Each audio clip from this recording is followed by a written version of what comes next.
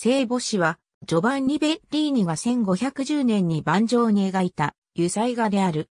画家が80代の時に制作した作品であるにも、かかわらず、未だに絵画の新しい展開に対応しており、1505年の牧草地の聖母と1509年の聖母詩に類似している。作品はミラノのブレラ美術館に所蔵されている。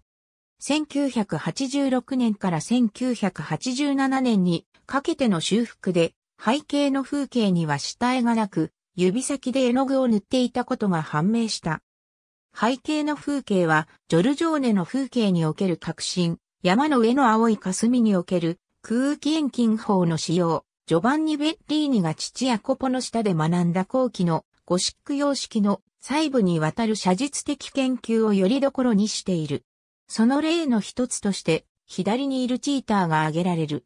チーターは、ジョバンニによるラテン語の署名とローマ数字で、日付が記された石の上に座っている。